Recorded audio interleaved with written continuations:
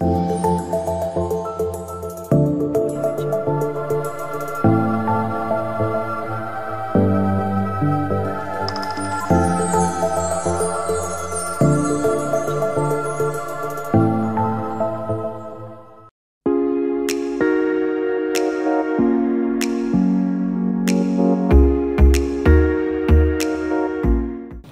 morning, everyone. Welcome to the distinguished lecture the book launch today.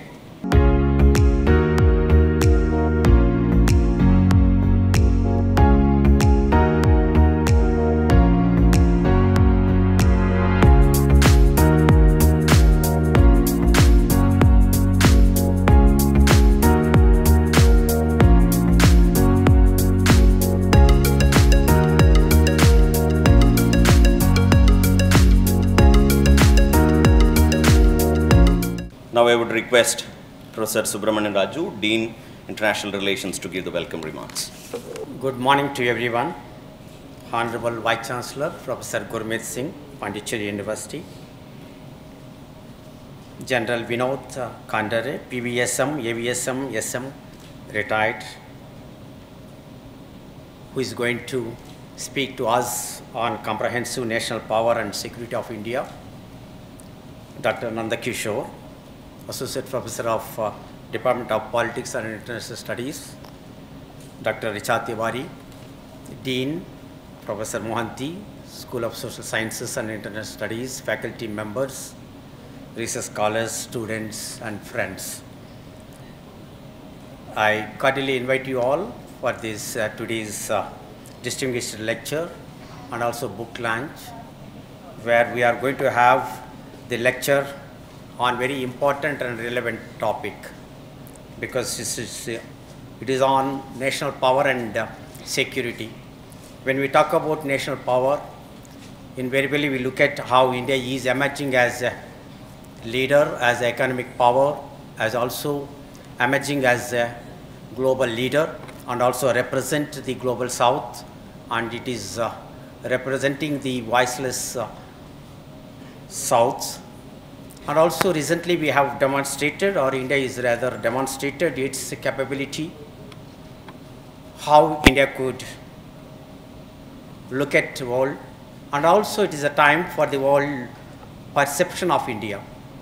We used to earlier to look at how India looks at the world but now world is looking at India for variety of reasons not necessarily only military capability to be seen as factor for any country's capability not necessarily nuclear capability, but also look at other factors that also determine a country's capability, where precisely India is seen by rest of the world as uh, one of the leaders.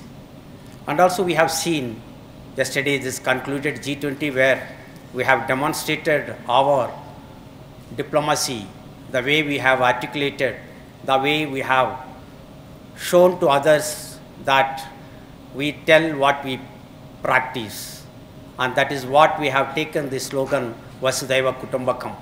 This is all because of this national power, not necessarily military capability, but also other factors that makes India to be seen as one of the leaders in the world. And also the rest of the world is looking at India. And India is in a position to reach many countries. India is in a position to have dialogue with many countries unlike others, despite they are militarily superior to India. So that is something where we need to look at how India's national power can be seen, apart from other factors, how India is able to reach other countries, and also the way we look at, the way we talk about, and the national power makes us to think about Vasudhaiva Kutumbakam, how that could really when we're talking about one earth, one family, one future.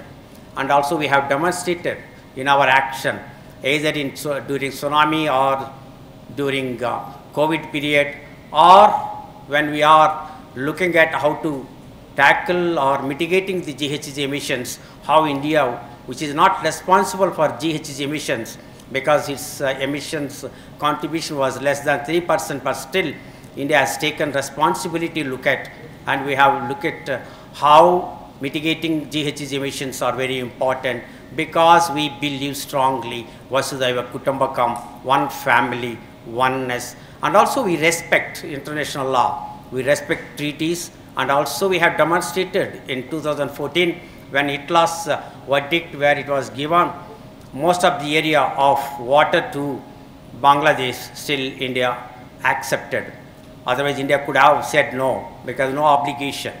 But then India wanted to demonstrate that how India is respecting international law.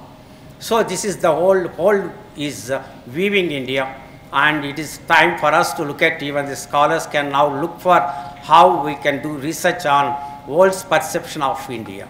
So I think this is the time for us to look at the India's national power and this is the right topic on which the today's guest of honor is going to speak to us uh, in the presence of Honorable Vice Chancellor. We are very grateful to Vice Chancellor who is despite his busy schedule uh, made it possible to be with us today. So thank you all and I once again welcome you all for this distinguished lecture. Thank you. Thank you, Professor Raju. Um, we were supposed to have this lecture quite some time ago due to the paucity of time as Sir is also extremely engaged with the ministry and receiving foreign delegates and a lot of other works. At the same time, finally, this has been possibility because of the Vice Chancellor. Uh, we were able to do this particular one on a very important topic at this juncture itself when the G20 is happening and India's rise has been recognized in different parts of the world. Now I would request the Honorable Vice Chancellor to deliver the presidential address. Thank you very much, Dr. Nandkishore, and good morning and welcome to everybody here. Uh, we all look forward to this event called Distinguished Lecture Series. It is not for us, it is for these young students who are sitting here, and I am very delighted to look at uh, students sitting on the pavement as well.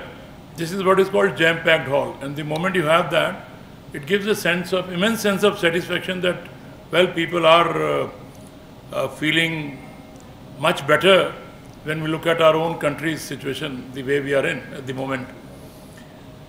We have uh, Lieutenant General Vinod G. Khandare. You would have heard Professor Raju reading it, PBSM, AVSM, VSM, and uh, other uh, honors that he had.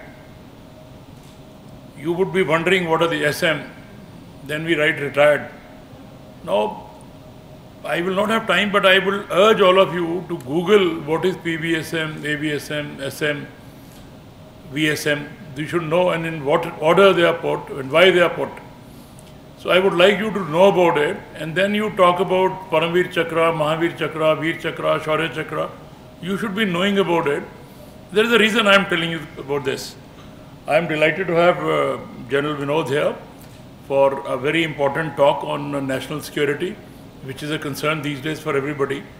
And this talk could not have come at a better time when we have just concluded G20's session yesterday with India leading and India achieving a great landmark by having a Delhi declaration. In any of the events that we have of this kind, rarely you find an, a perfect unanimity on some kind of a declaration, which we had and the, the impression all over the world was, well, it'll be, well, it'll be there. It'll be, it'll go in the annals of history that G20 presidencies was India's and the event was held on this date. Uh, that's about it. This will also go in the history that they deliberated a lot, but could not come up with a unanimous declaration for two reasons. One, there is a lot of economic difference between the countries which are there. And secondly, the Ukraine-Russia war is on. There is one quarter which is with Russia. There's another one which is with Ukraine. And when you look at our own position, we were striking a very wonderful balance between Ukraine and Russia. Because we are having trade ties with both of them and historic ties also if you look at it.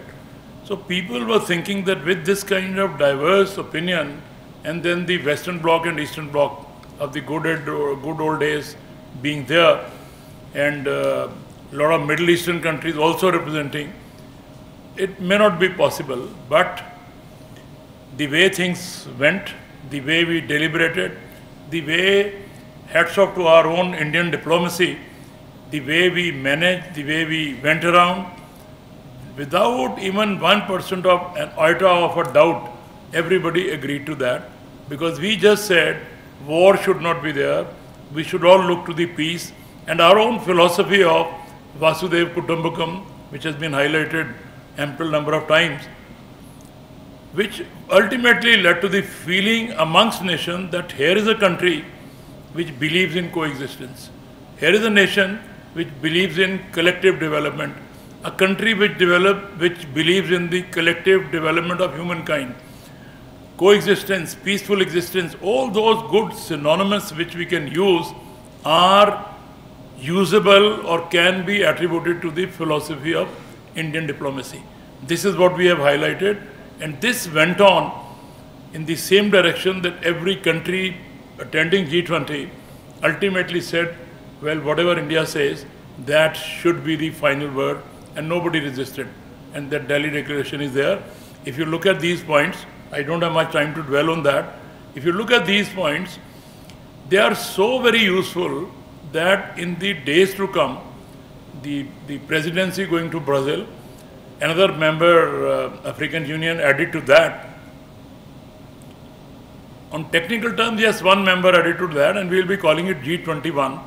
The whole direction will be from this uh, Delhi declaration. The whole focus of international diplomacy will be now based on Delhi declaration because this is what every country wants. You will say, what is the gain of India? I was reading in the newspapers in the morning and I heard uh, late night uh, TV debates. Many people were criticizing what is the gain India is going to have with so much of money spent and so much of uh, pomp and show. What is going to be our gain? Well, you are forgetting that we have added one member called G21 now, and that is not one member. That technically is a collection of 55 African countries. And we, when we all sit in the UNO, it is not one African Union, it is 55 votes. Senegal's vote and India's vote and America's vote is all one each. So therefore, from that point of view, India having gained a worldwide recognition in terms of a country which really believes in the welfare of mankind is the biggest gain that we could have thought of. And in that line, people have very, very clearly very appreciatively spoken about the contribution India did during COVID time, how well we managed and how well we supported many nations who could not uh, have uh, their own vaccine and we were the ones uh, who went ahead and helped them out. So this has gone a long way in the minds of uh, every nation. Then a word on Indian diplomacy.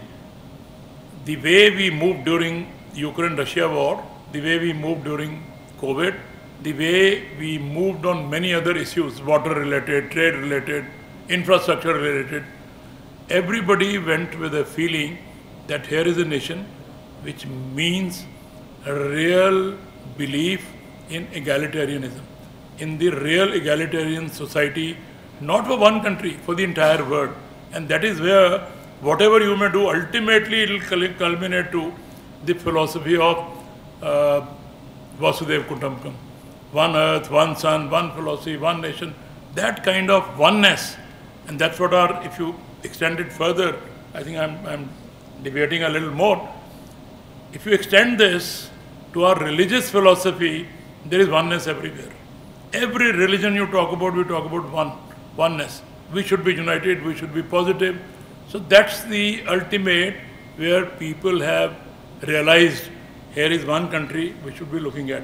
And during all these difficult days, our Indian diplomacy showed to the world that the, the, the real foreign policy is to look after your own interest. And if India looks after its own interest, that own interest would be ultimately pointing to the interest of the world because we have never looked at our own concerns. Whenever we express our concerns, we talk about concerns of the humanity concerns of the word. So this is what has gone around to every nation. Now last word, which I may not be very right because I am not a student of political science. When we press for our seat in UN uh, Security Council, permanent seat there, ultimately, you know, it's the number that counts. And now 55 straight away jumping to our side would go a long way. People say, what is going to be the gain? This is going to be the gain. Yes, there is going to be an issue of veto power and all, but ultimately, when the whole ship is tilting to one side, that veto power will also not say that let us drown together. He said, no, no, let's save, save ourselves. So that 55, this side, that side, will certainly have a lot of meaning in future. Everywhere people are talking about India should be there. India would have been there in 50s had we had we treaded little carefully, but that's a history again. So we are on a right path. If somebody criticizes what is the gain, there has been tremendous gain.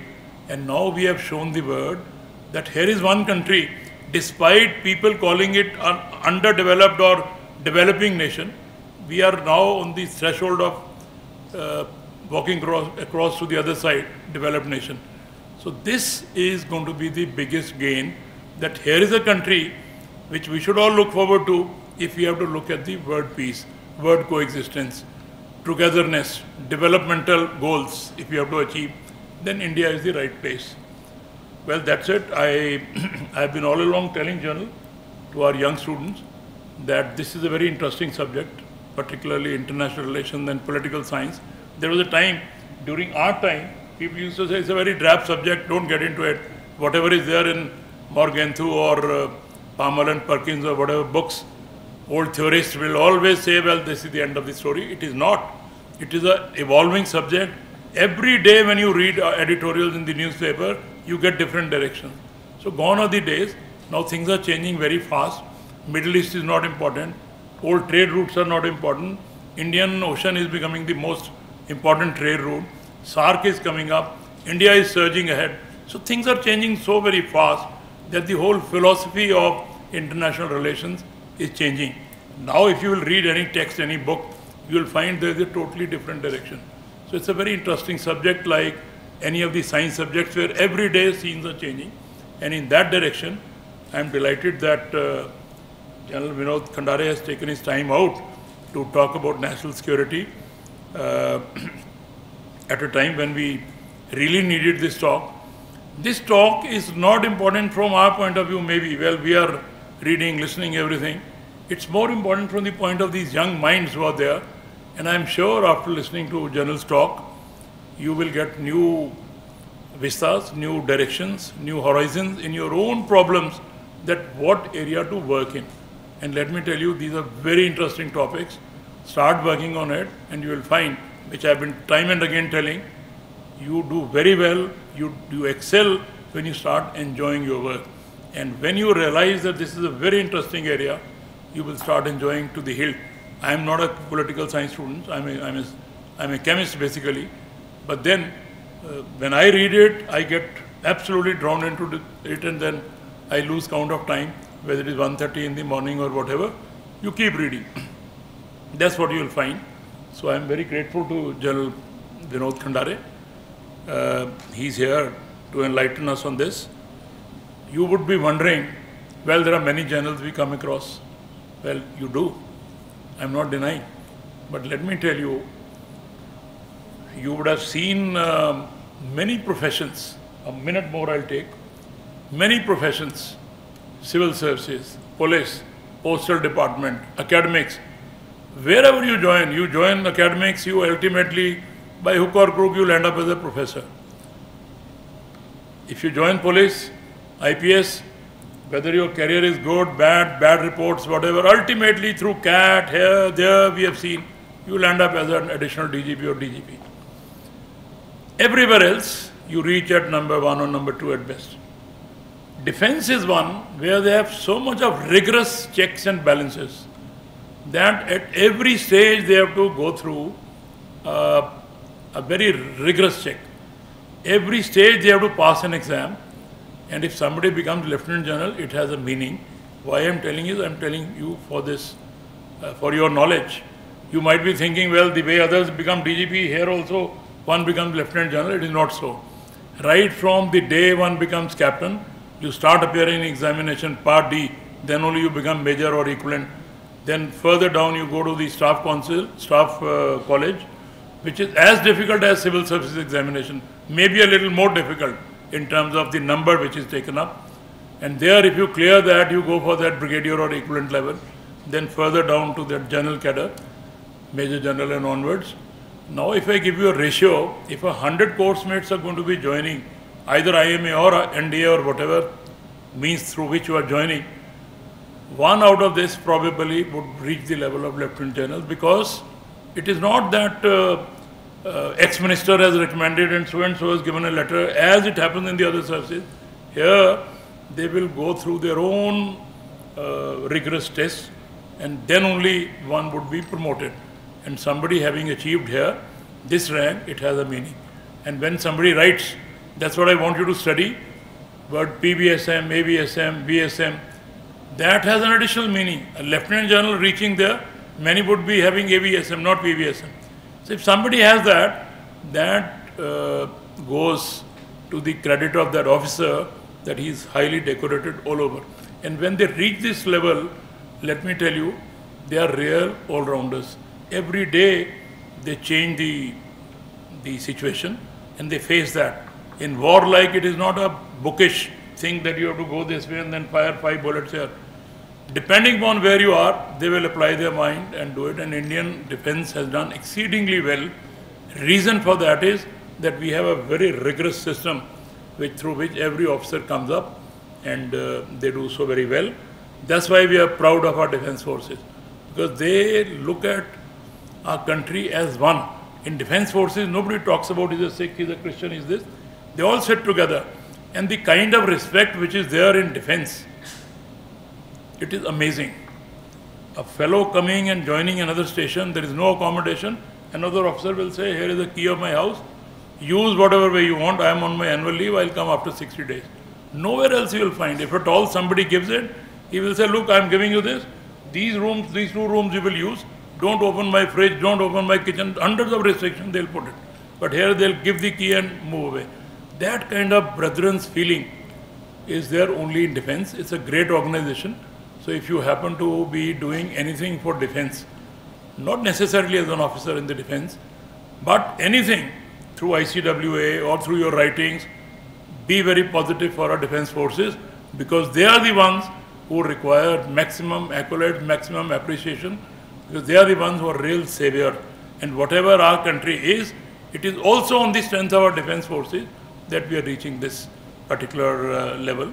So I will not have much time but I'm, I'm extremely happy that General is here and uh, I'm sure he's going to be enlightening you with his own uh, experience, with his own reading. And uh, when some officer talks about security concerns, I think there can be no other person better than a person of the rank of Lieutenant General who has spared time for us to be with us. And uh, last word for the youngsters, after the lecture is over, let General not be relaxing. You put uncomfortable questions that you have in your mind so that he enlightens you to the extent he would be able to do it right now. And that, let me tell you, will go a long way in your research careers, that which direction to mold your PhD and MPhil and other degrees. Thank you very much for joining here. I wish you continue to have this kind of a response to our lecture series. And I'm, I'm sure with these, our uh, UMISARC shall grow from strength to strength. Thank you very much and God bless all of you and welcome to Java. Thank you, sir. One must be wondering how fluently he speaks on issues of international relations and defense. An anecdote, he was supposed to be all his uh, classmates, juniors, seniors, everybody is topmost officers you must have seen, including the foreign minister from Shringla to everyone. He also is a Stephanian. So it's that legacy because of some domestic issues he did not give his civil services. Otherwise, he would have also ended up as a diplomat, and that's the blood still runs in him. That's why he so comfortably speaks about um, issues of international relations and other things. Uh, we'll have the book launch, uh, Reimagining India in the Geopolitics of the 21st Century, edited by me and a friend of mine, Mr. Um, Prashant Vaidyaraj. Unfortunately, because of his health issues, he was unable to join us here. I request um, the guests on the stage to do the honors. Nandkishore had mentioned about yesterday's uh, G20 events. I was feeling so thrilled when I was looking at the main dais, Prime Minister sitting in the middle. Dr. Jaishankar on his this side, Harsh Shringla on the other side, Amitabh Kant on the other side, and uh, Ajay Banga on this side. The common thing was they were all from St. Stephen's. So this is something, and they all were there when uh, I was there two years this side, that side. But what a remarkable performance it was. Everybody contributing to the bit, uh, which led to what we have seen in the thing. So this, uh, you feel little happy and proud of the fact that you also walk the annals of the same place. Thank you. To have this book coming in the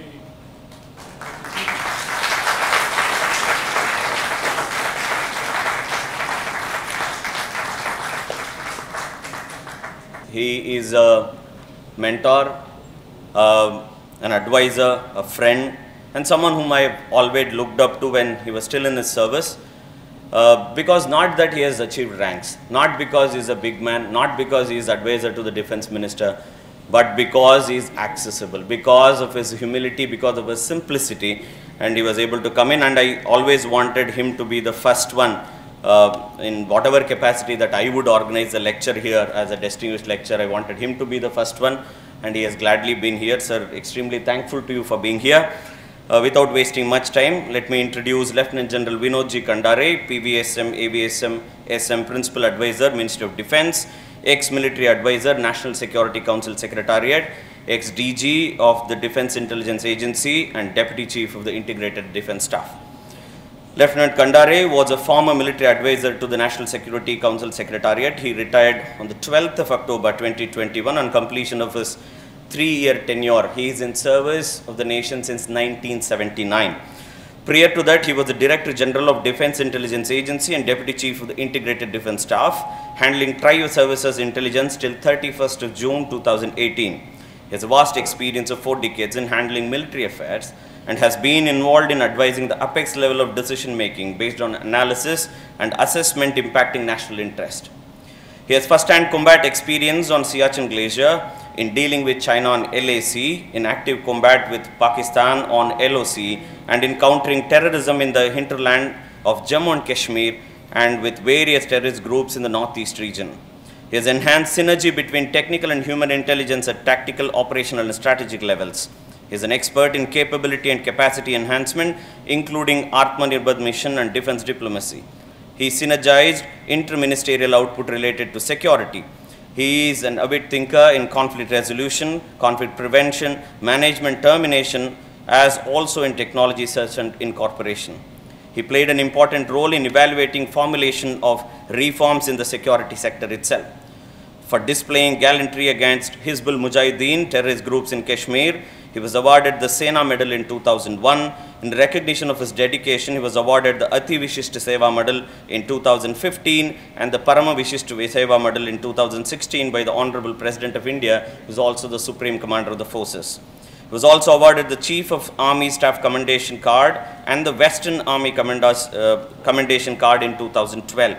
Crisis management has been his strength and destiny during his service, be it terrorist attacks at Pathankot, or Patan Air, Base, Uri, Nagrota, Jammu, and our surgical strikes in Pakistan or in Myanmar. There are many more treasures and experience he has, which perhaps you will be able to unfold in the time to come. Currently, he is a distinguished fellow at the United Service Institute, New Delhi, and the Emeritus Research Faculty at the Rashtriya Raksha University, Gandhinagar.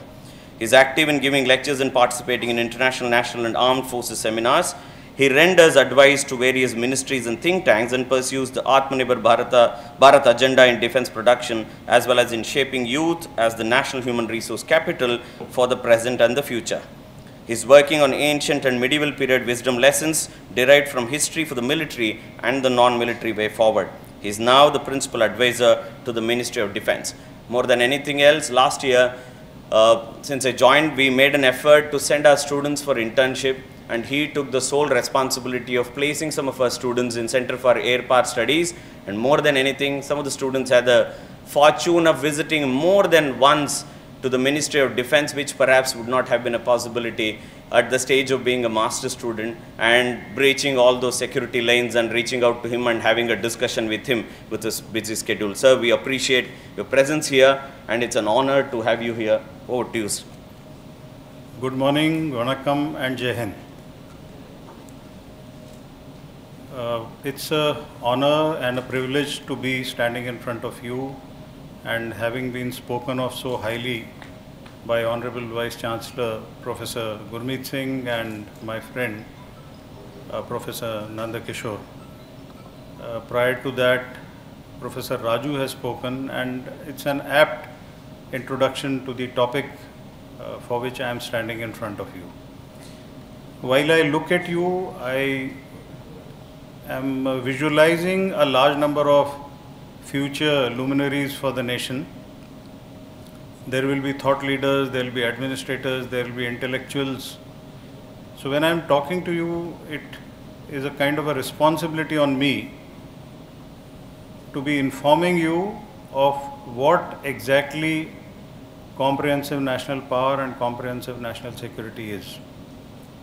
Uh, many people feel that those who serve in uniform are not able to understand the nitty gritties of these two most important topics which the nation faces on a daily basis and it's a long term vision that needs to be brought in. So when I'm talking of uh, vision, you know, you would read in many places that India lacks strategic culture, India lacks a national vision, and there is no document which talks of uh, national security or national strategy.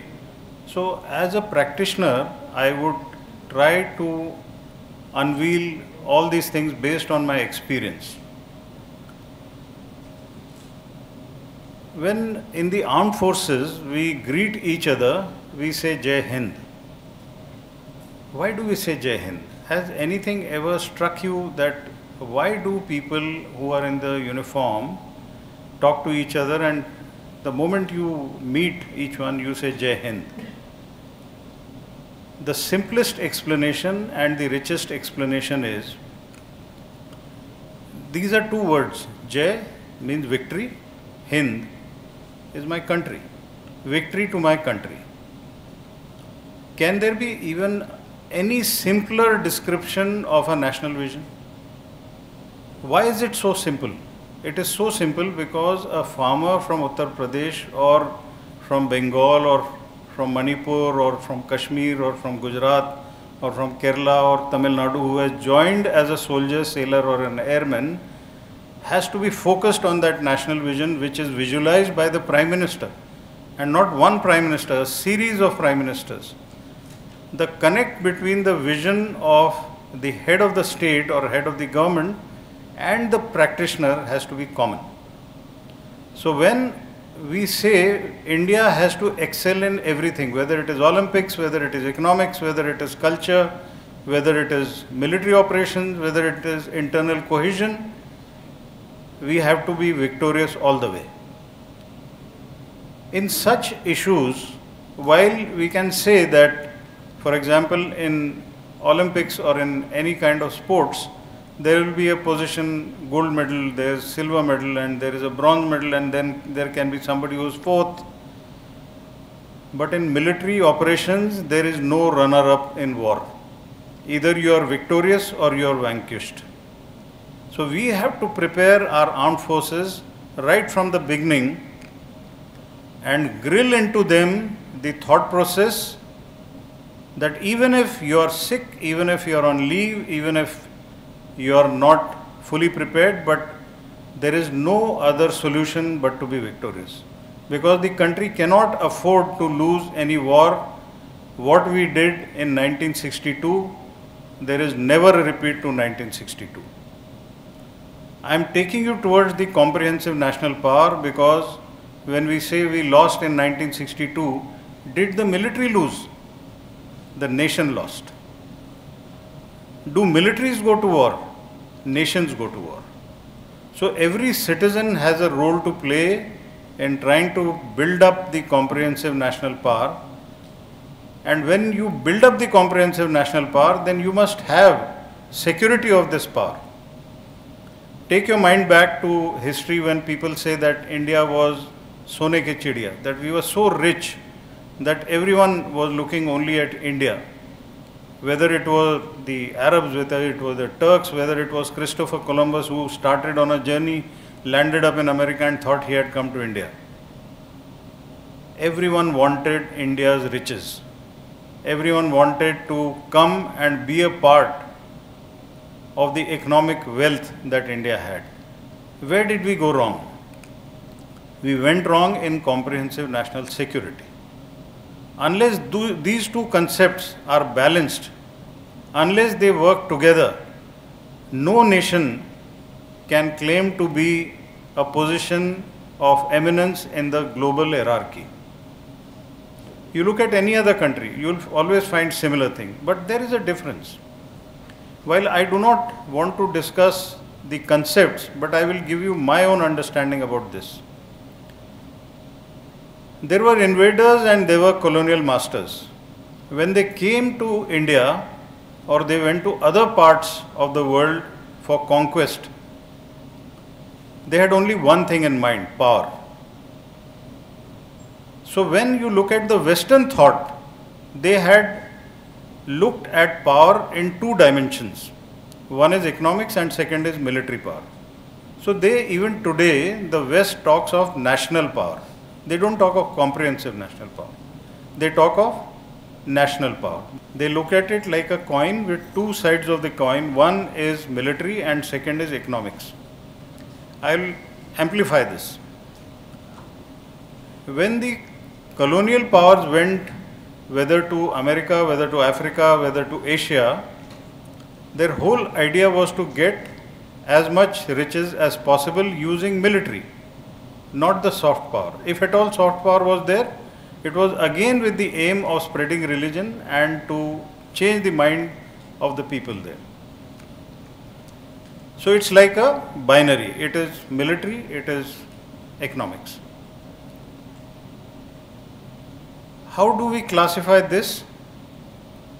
Remember 1857 when Robert Clive defeated the governor of Bengal, Sirajuddaula, and thereafter, now I'm recounting an anecdote which has historical evidence.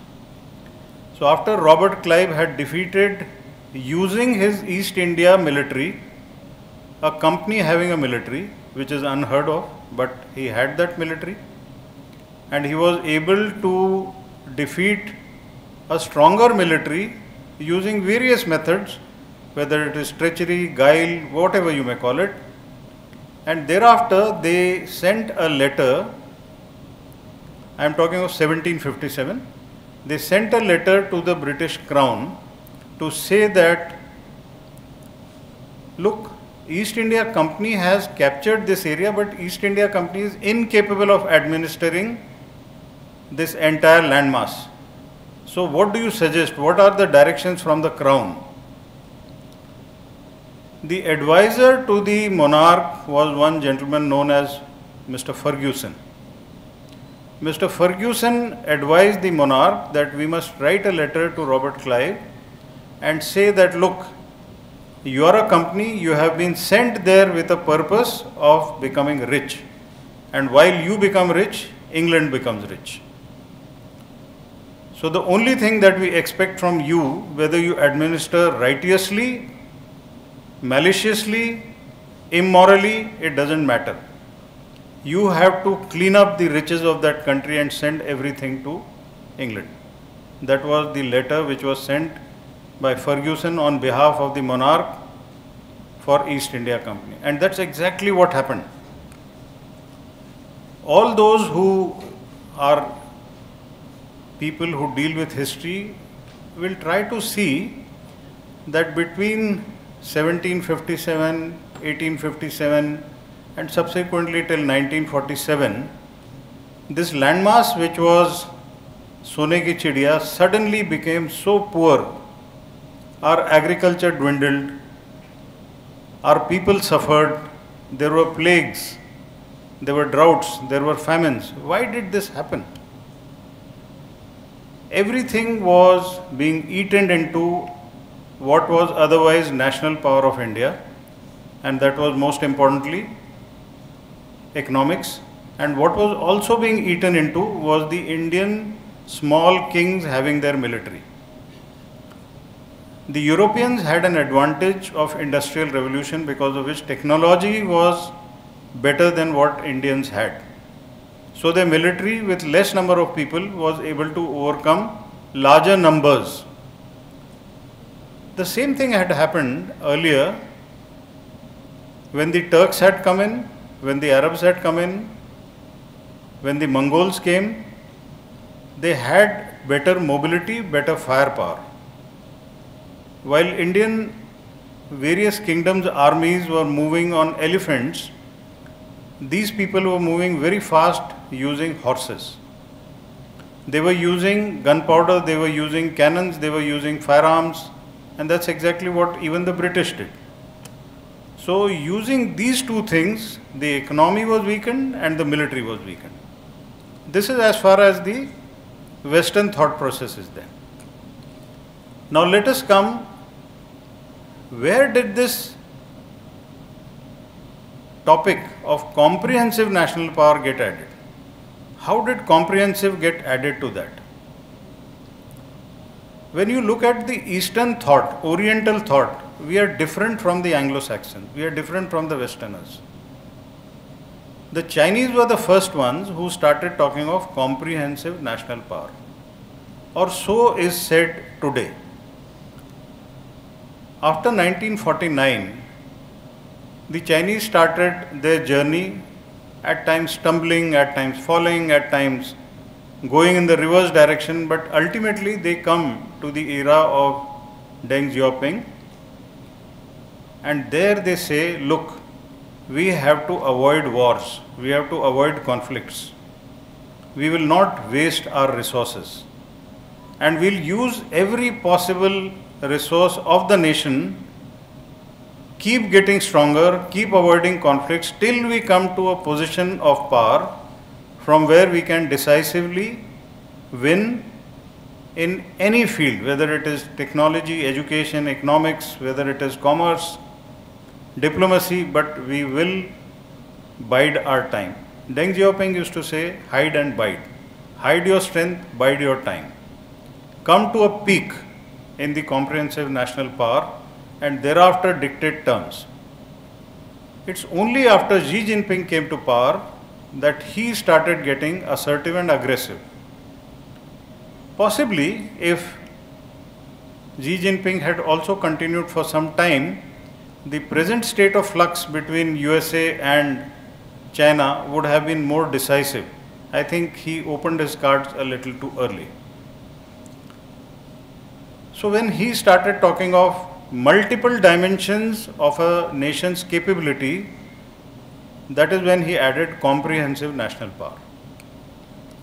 So how do I differentiate between national power, the Western construct, and comprehensive national power, the Oriental thought? There I gave you an example of a coin which has two faces. But if I tell you the Oriental thought process on comprehensive national power, it is like an uncut diamond the more cuts you give it, the more value it adds to the diamond. So that's a very simple way of remembering that comprehensive power, comprehensive national power is like a diamond. The more cuts you give it, the more shapes, angular perfection you give it, the diamond becomes that much more costly. So China is one such example where it has played its cards well when I'm saying that China decided not to go to war, what am I saying? In 1950s, they went to war with Tibet. So I told you there were certain stumbles that they did. Then I told you that 1962 war they defeated India. Yes, that was one more event. But they did not sit down and capture and stay there. They realized that they must get back and get their act right over a number of years, their political leaders and our political leaders, their diplomats and our diplomats have been at the negotiating tables. Quite unlike our Western neighbors, after 1962 and possibly one short while of 1967, India and China have never fired a bullet at each other because of certain understanding that look, we are not going to war. Okay, we can have our tussles our transgressions along the line of actual control, but we are not going to war. Why did we say that?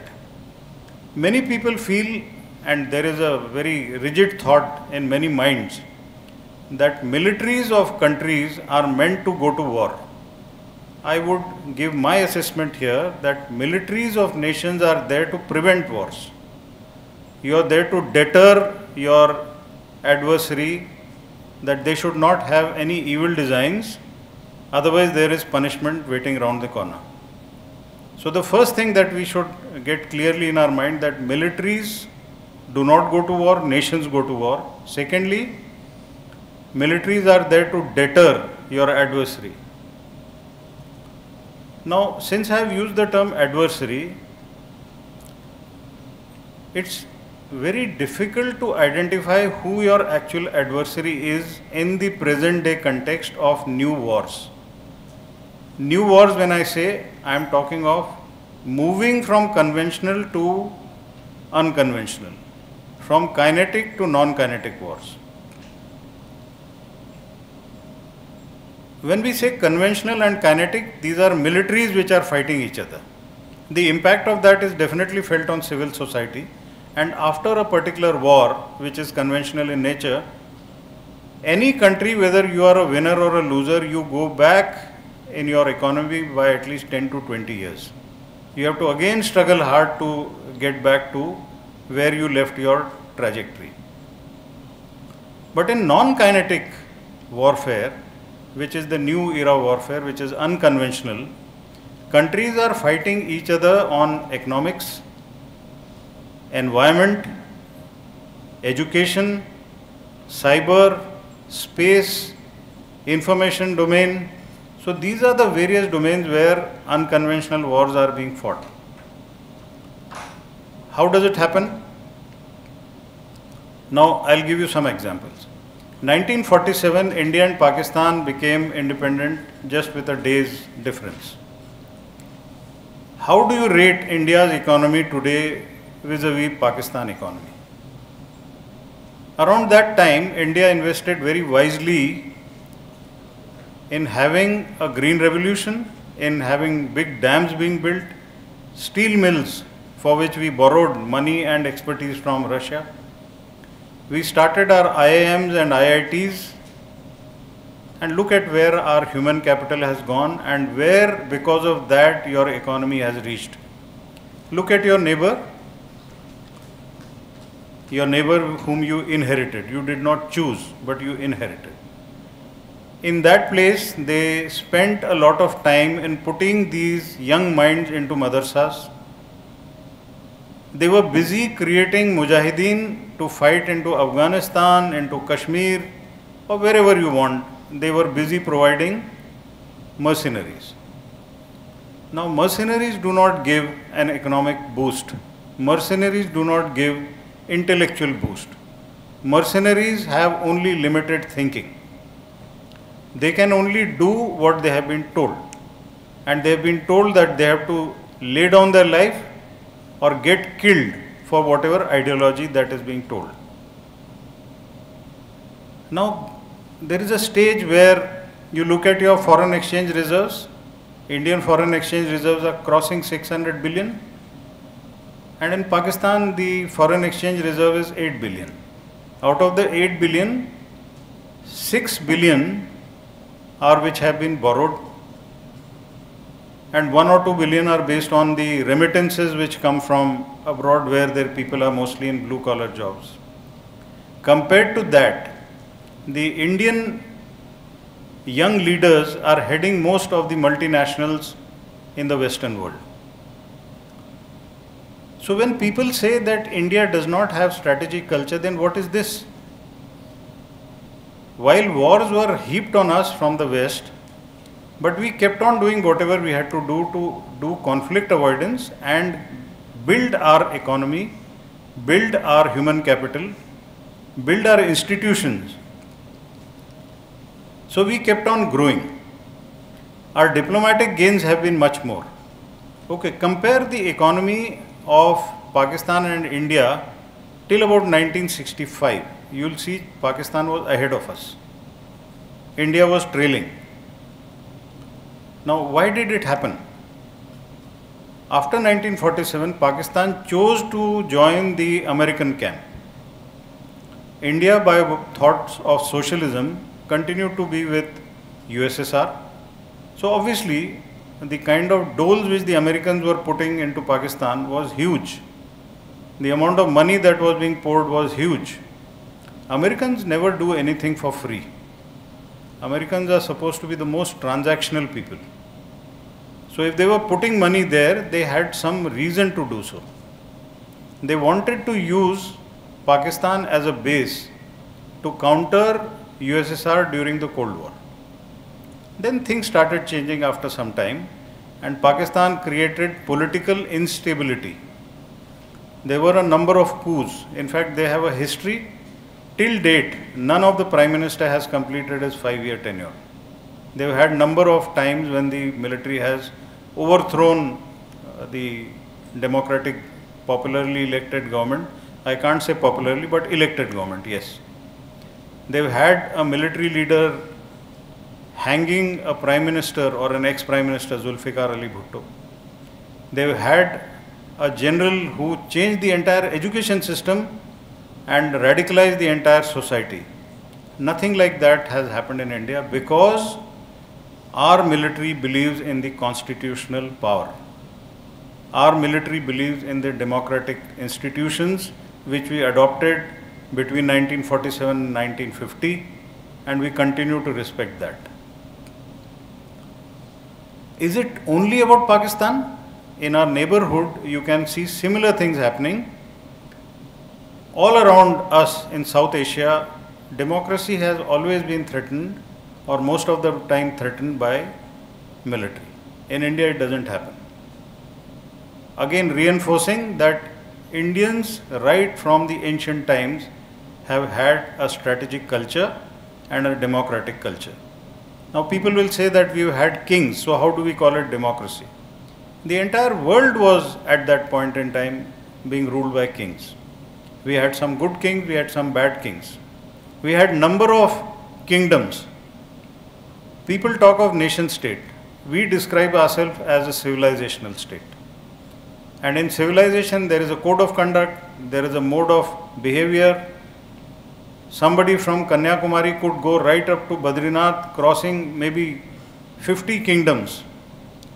And they were all respected, they were all looked after. The pilgrims were looked after even if they did not know the language. That is a civilization. That is beyond the concept of nation state which we get from, say, Greece.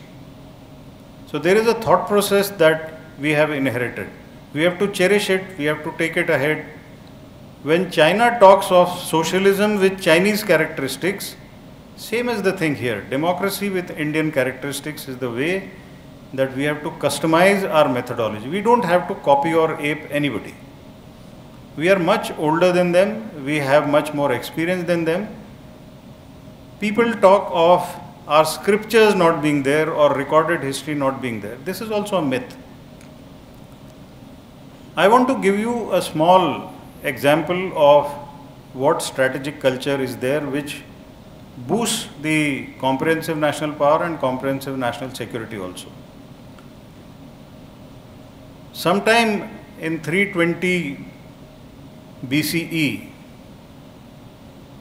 we had the Maurya kingdom coming up and rising to such levels and all because of a unique combination, a very rich combination between the king and his advisor, Chandragupta Maurya and Chanakya. So when I gave you that example of Western thought and Oriental thought, now I am taking you ahead to the Indian thought process. Chanakya describes in various ways how a nation should be run, how a nation should be protected, and how a nation should expand its influence using hard and soft power. So there are various theories which he has propounded. There is one theory which is extremely interesting, it is called the Saptang theory. In Saptang theory, he talks about the entire nation as a human body. And in that human body, there are seven ang, seven parts of the human body that he describes the person who rules the kingdom or the person who rules the state is called as the Swami or he is the head of the state. He says, like a head of a human body is the one which thinks about your entire body, the Swami thinks about the state, the welfare of the state, the increase of power of the state. So that is the Swami. But the Swami can't do it alone. So he has to have a number of advisors, whom he calls as the Amatyas. So Kautilya or Chanakya, his original name was Vishnugupta. He was the Amatya, he was the advisor. There were other advisors also. And then he gives out the code of conduct for the king, the code of conduct for the Amatyas also. And then he goes on to say that any state or nation or kingdom, whatever name you want to call it by, must have something for itself. So, what is that? That is the Janpada, that is the people and the territory. He very clearly gives out that if you don't have territory and you don't have people, then you can't call yourself a state. Then he says, okay, I have territory and I have people, but how do I grow? So I must have kosh, that is the economy. So I must build up my kosh, and that is when the people will be happy, that is when my influence will increase. But to protect that, I must have dand. Dand is the military. In fact, he goes beyond military and he says security. So, in security, it is internal security, it is external security, it is intelligence, all kinds of elements which are required to protect your state from the evil eyes of the neighbors or the invaders is what is called as dand. So many times when you hear people saying that, you know, Chanakya Niti said, Sam Dam Dand you all have heard of that? Okay. The chronology is Sam Dam, and then Dand. When everything fails, that is when Dand has to be used. But probably over a period of time, all such things get contaminated. So maybe this sequence also got contaminated. But finally, this is how he mentioned. I am not going into the other parts, but this is what exactly is a strategic culture that you have people, you have territory, you have somebody who rules you, you have somebody who advises them, then you need money, and then you need somebody to protect that. All that put together is comprehensive national power. It's so simply put. And this has been put even before Christ was born. Then what happened? Why did we lose it? we didn't lose it for quite some time. We lost it around 1200 CE because that is the time when the invasion started, when the libraries of Nalanda and Takshashila were being burned. So that is when a lot of people from the intellectual lot and the academic field, they started taking away very precious written work and hiding it somewhere. So from 1200 onwards, we didn't have a written copy of what Chanakya had written. It is only in 1905 that in Mysore, in one of the museums, a scripted copy of Arthashastra was located. And by the time we got to understand what it was, it was about 1912. So, does it mean between 1200 and 1912 our kings did not use Chanakya Niti or we did not follow Arthashastra? No, it is not that.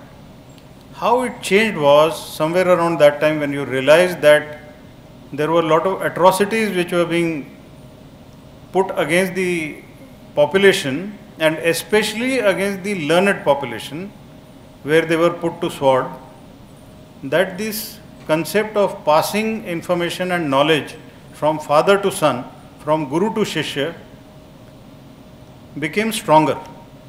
The mental faculties of Indians are even today very strong. And they were able to memorize.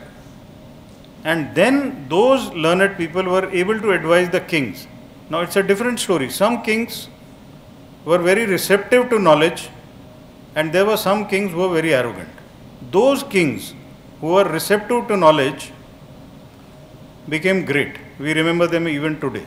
I'll give you a very small example. You look at Shivaji, he didn't go to Stanford or he didn't go to Eton or he didn't go anywhere, but he was taught by his mother at home, which we call sanskars, and he was taught by his guru. Now, Dadaji Kondev was the guru who was responsible for his initial training, and subsequently, the spiritual growth was with Swami Ramdas. Now, how did it happen? You know, today when you hear of people talking in editorials or in that prime time debate that India is faced with a two and a half front threat, and people are getting alarmed, and while we are getting alarmed, the TV channels TRP is going higher. But at the end of it, the younger population gets confused. If there is uh, such a threat, and then what is India doing? I will tell you what India is doing. But I want to take you back to the time of Shivaji when he had more than five front threat. But he still emerged victorious. He had the Mughals against him, he had the Adil Shahi, he had the Qutub Shahi against him, he had the Nizam Shahi against him, he had the Portuguese, he had the British. Everyone was breathing down his neck. But he knew how to juggle. He knew how to use diplomacy in trying to control somebody. He had his intelligence where he knew who's preparing to come and invade me. He learned from the tragedies of the Vijayanagar Empire. He studied that carefully and he was able to understand that when five adversaries combine together, there is no hope in hell and your military may be the strongest, but you will still suffer. And that's what he learned.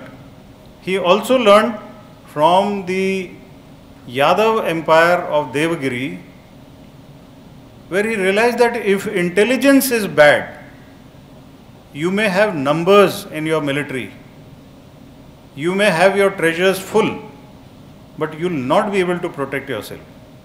He realized that when the Khiljis, or rather when the Tughlaqs were right on the doorstep of Devagiri, that is when he woke up because the intelligence was very poor. People had become arrogant in their power.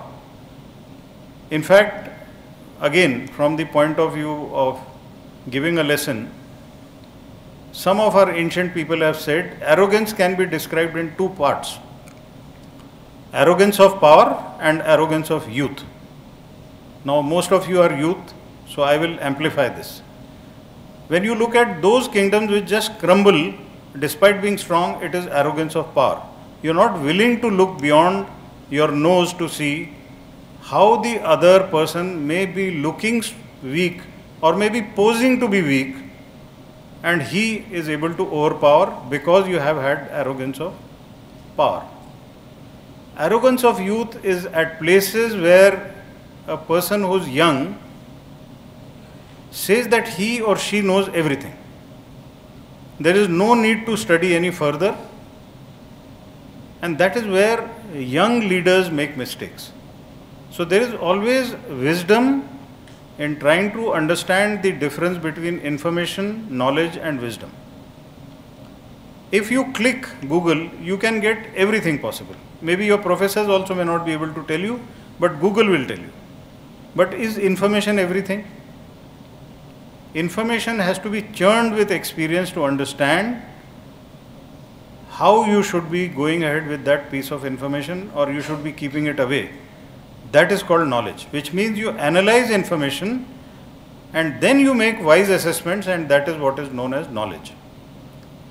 And when you add further experience to it, that is what is known as wisdom. So, most of your professors are in that category of giving you wisdom. So never ignore what your professors tell you, what your parents tell you, what your grandparents tell you. They are the people who, with experience and a lot of analysis and assessments, are able to make a difference in what is pure information and what is wisdom. The shorter the gap is between this journey, the faster the nation progresses. Okay, now let me come specifically to Indian situation and the regional and global situation related to comprehensive national power. Military, I will talk at a later stage. I have already explained how economics makes a difference. If you have money, you can buy weapons. If you have money, you can educate people. If you have money, you can create infrastructure. If you have money, you will get an entry into G20. If you do not have money, you will stay outside, not even a guest of honor, not even a guest to come and attend the proceedings. When Bangladesh went away from Pakistan, and today Bangladesh gets a seat as an invitee in G20 and Pakistan does not.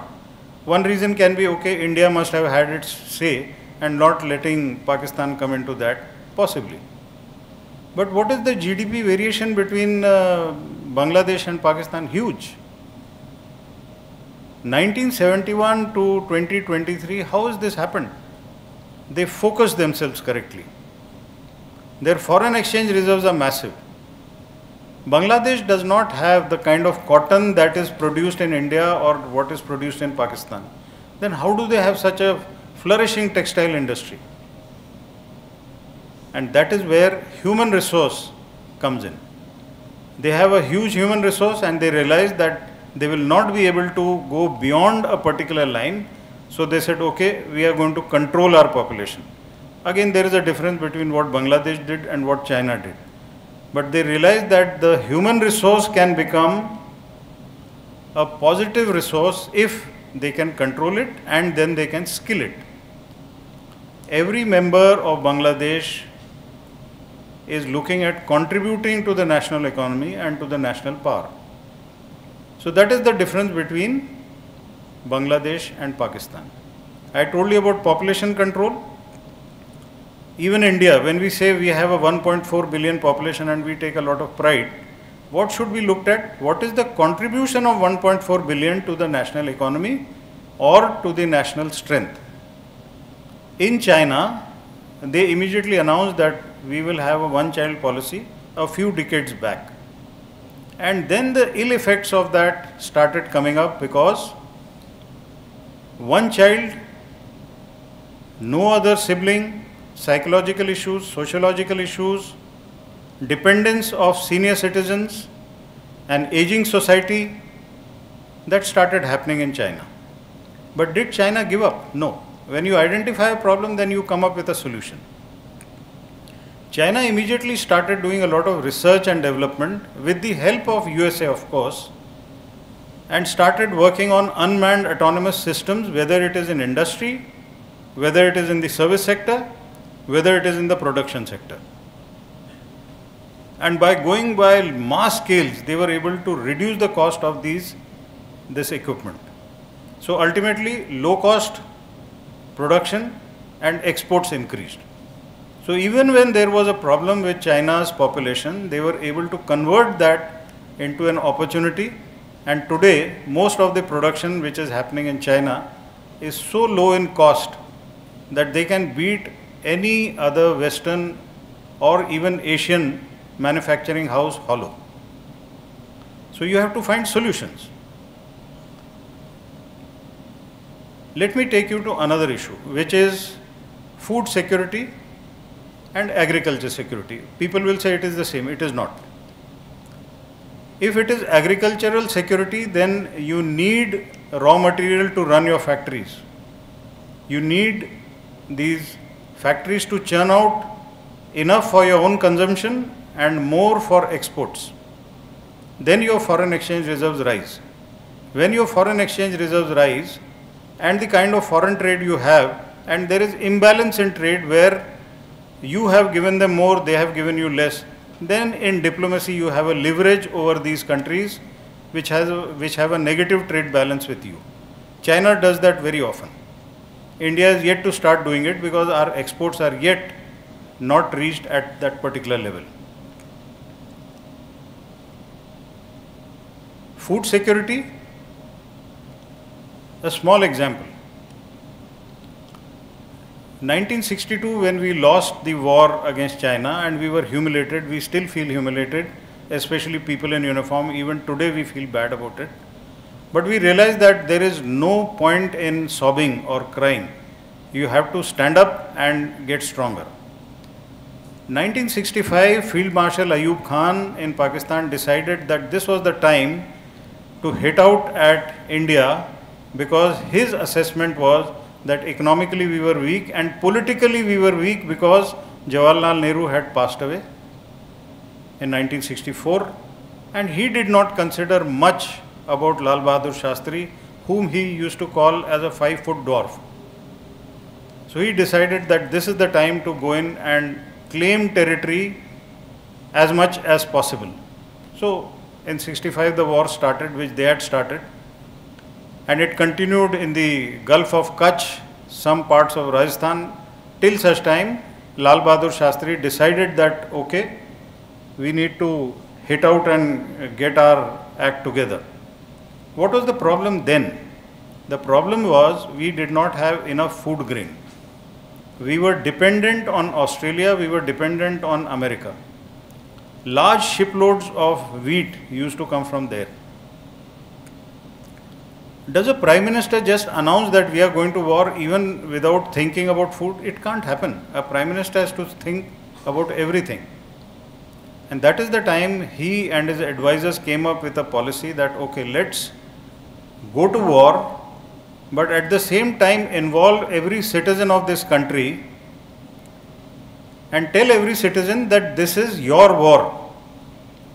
So he said, and I remember I was a child and I heard him over All India Radio in his famous speech, in which he said that we have been attacked and we have to respond, but we have a problem of food. Americans have refused to give us food, but we will fight with discipline. And he, as a prime minister, said that he would have only one meal a day, and in a week he would have a fast for one day. And he said, This, as a Prime Minister, I am urging you to contribute. The entire nation went on a similar model of one meal a day and a fast, one day's fast in a week. And that was the food which was provided to our armed forces. When you have a problem of food security, you cannot even defend your own rights and since then, the green revolution, the white revolution, everything possible started, and we started getting stronger and stronger.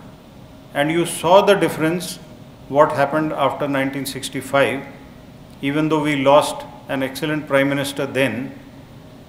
But in 1971, we were able to create two parts of our western adversary, and eastern part became Bangladesh. Never in the history post World War II have 93,000 soldiers surrendered to any nation, which they did to us. After that, we went in for a Simla agreement in which we said our issues with Pakistan will be bilateral, not multilateral. So you are able to extract something out of it. Okay, we could have got something more than that.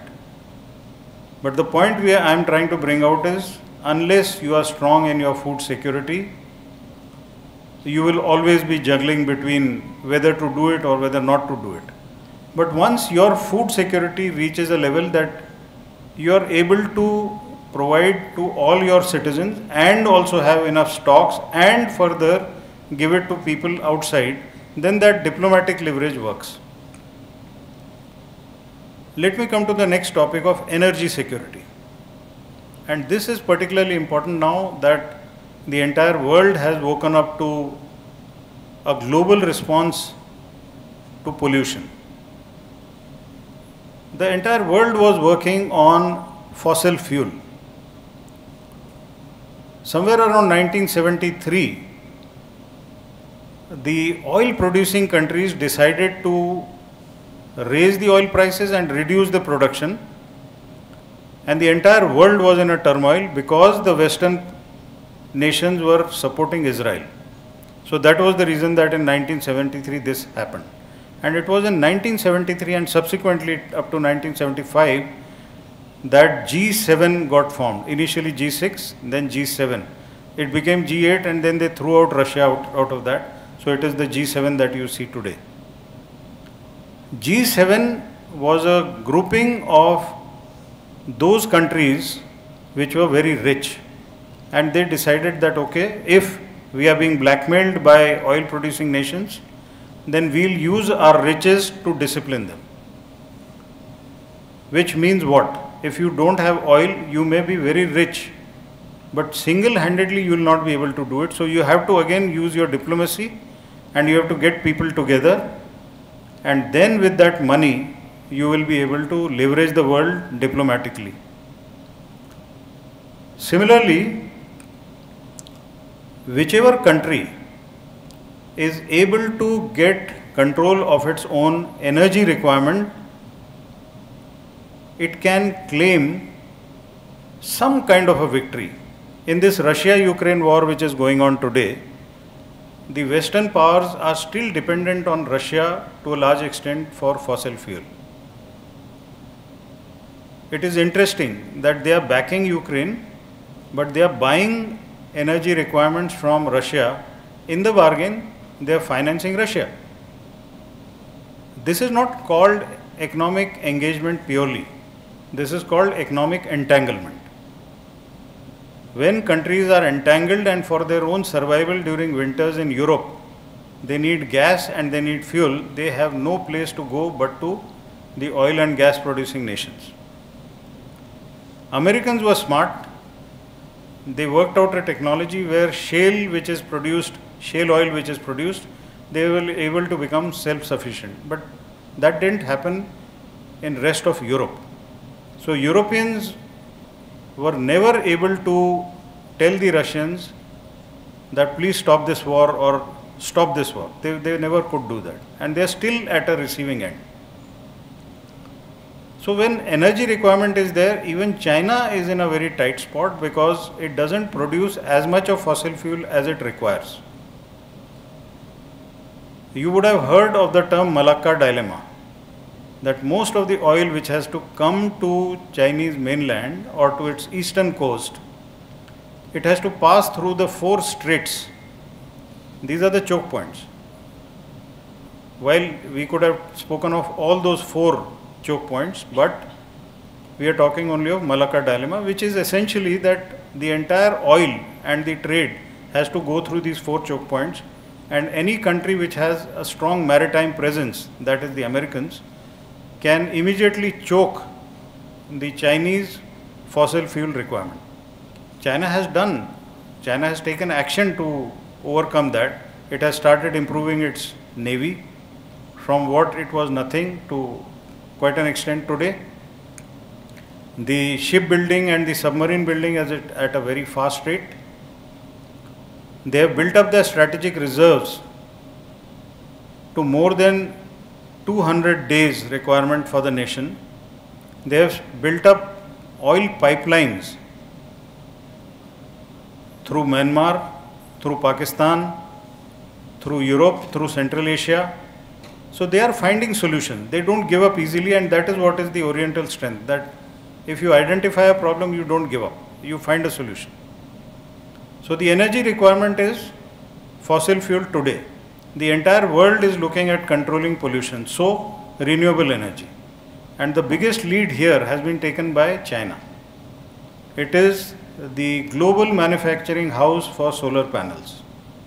They have worked out various technologies, whether it is hydrogen fuel, whether it is fuel cell technology, whether it is hybrid technology using solar or wind, they are doing that. When I talk of energy requirement, along with that comes the water part also. Water security is extremely important. Any country which is an upper riparian state, that is water flows from there, like China is in most of the cases an upper riparian state, Brahmaputra flows from there, Satluj flows from there, Indus river flows from there, Mekong river flows from China. And then what does China do? It immediately looks at leveraging its power as an upper riparian state onto the middle and the lower riparian state. India classically in some cases is an upper riparian state, in some cases we are the middle riparian state and in some we are the lower riparian state. So we have to balance our act into all these three. After we became independent in 1960, we had an Indus Water Treaty for water sharing between India and Pakistan. So out of the six rivers, the three western rivers were promised bulk of it to Pakistan and the three eastern rivers were promised to India. In my little understanding, I must say that the 1960 Indus Water Treaty between India and Pakistan was the most over generous treaty in favor of Pakistan. And as we look at Indian population growing today, and we realize that our northern states are also water stressed. Why are our uh, northern states water stressed? Bulk of our water, which was promised to uh, Pakistan, has gone. A large amount of our water, which is actually ours, also escapes to Pakistan because we don't have the storage capacity. But we built so many dams, then what happened? Understand that Himalayas are young mountains. Every year with monsoons or with glacial melting, when water flows at a rapid pace, it brings a lot of debris which gets into these big dams. So the storage capacity keeps reducing. Okay, at that time these were the solutions. Now what is the solution now?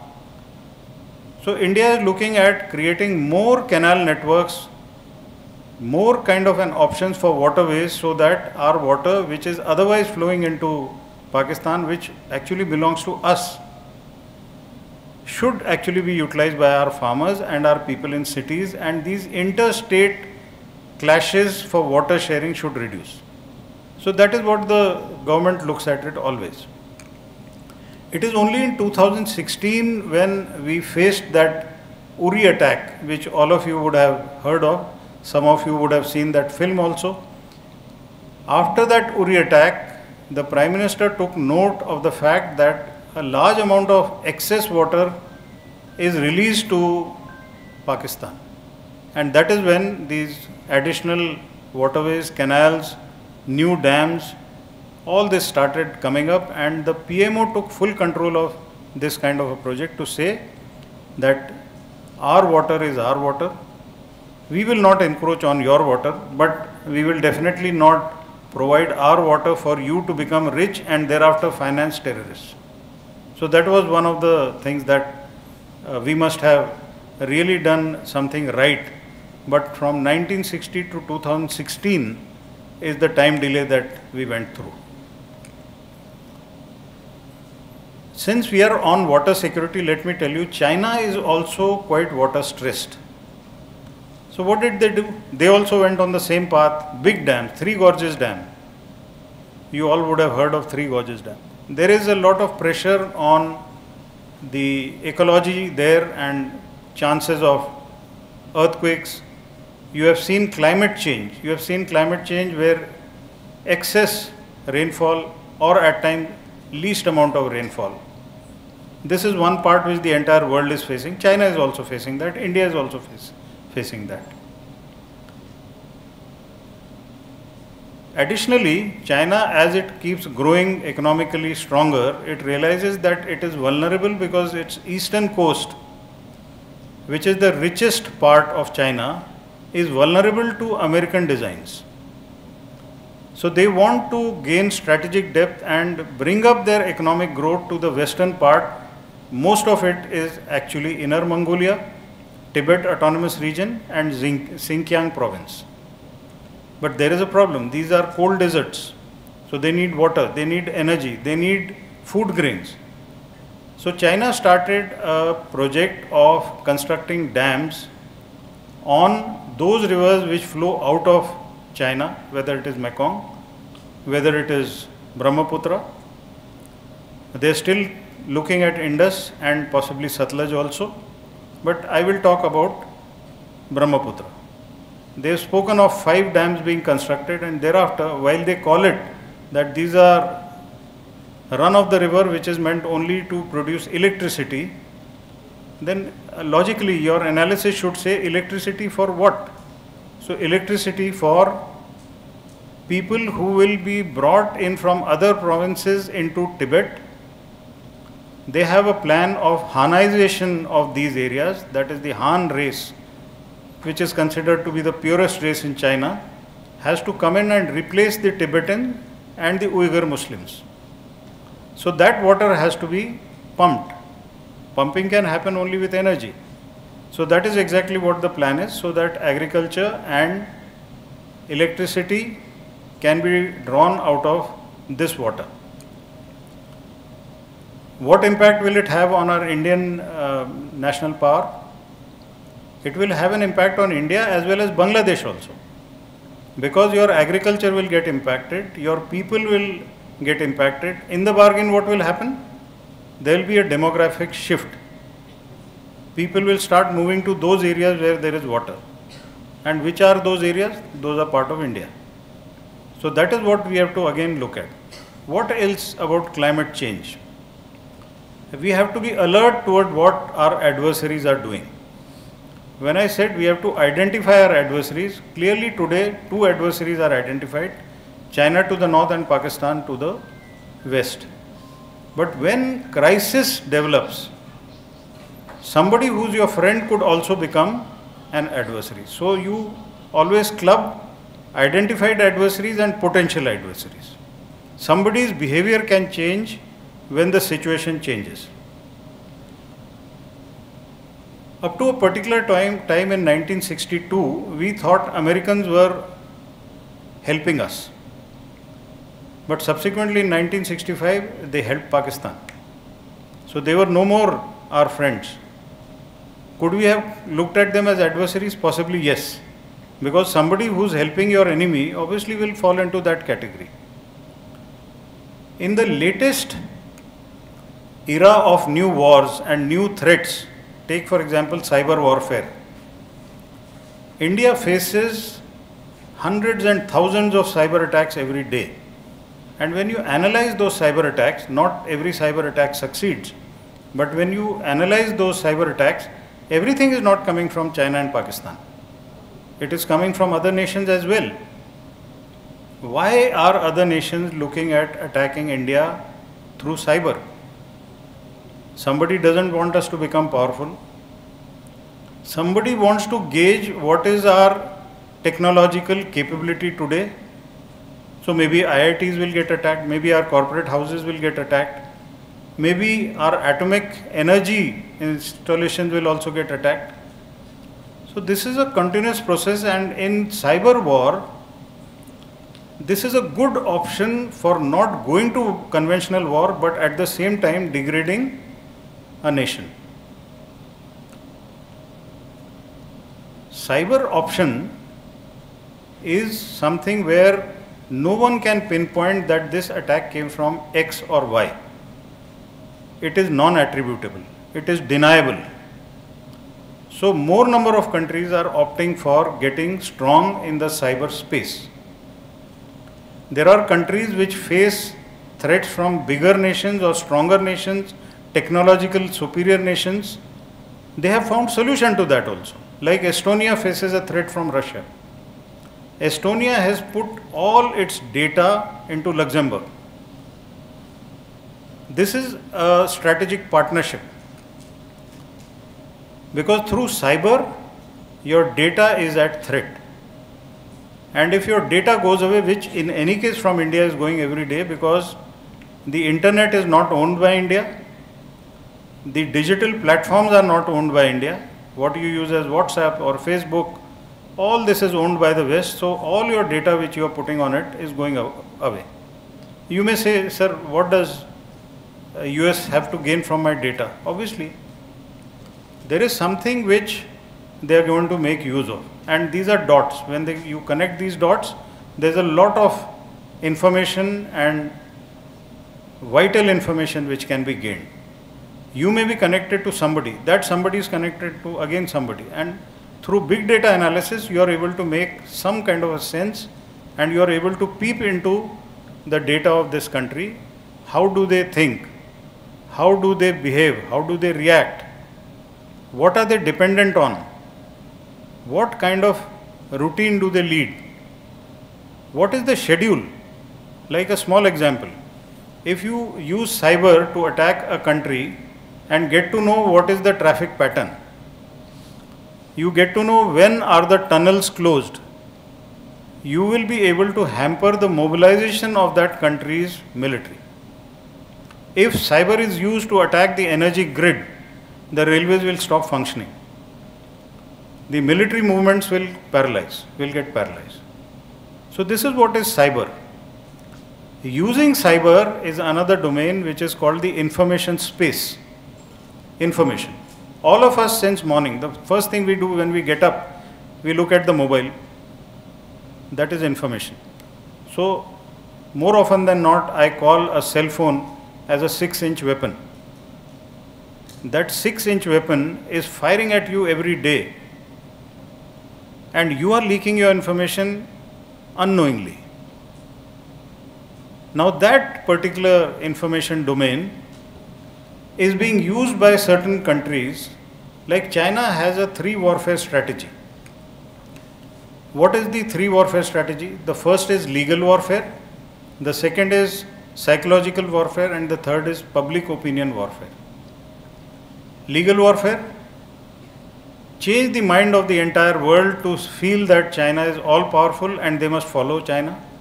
Change the maps, which is called the cartographic war, cartographic aggression, change the map. In the maritime domain, they came up with initially what was 11 dash line, then 10 dash line, and now it is 9 dash line in the South China Sea, where they say because our ancestors were moving around in this area, so this belongs to us, which impacts bulk of the ASEAN nations. ASEAN countries are not powerful, so they perforce have to obey what China does. They are not in a position to take a stand. So this legal warfare where they say that 9 dash line means so much of sea territory belongs to us. All routes which go through that will take our permission. Same thing they apply against India that they look at Tibet as the palm of a hand and then they say there are five fingers emanating from this palm. One is Ladakh, second is Nepal, third is Sikkim, fourth is Bhutan, and fifth is Arunachal Pradesh. And they claim that these are parts of China because Tibet is a part of China. This is again legal warfare. The next part is public opinion and psychological warfare. China has been extremely good at both these. They build up narratives, they plant their narratives internally and externally. So, internally, their entire population has to remain as one homogeneous population, absolutely loyal to the Chinese Communist Party. Chinese Communist Party has to keep the people together, loyal to them so that all external threats can be handled properly. Interestingly, China is the only country where a party has a military.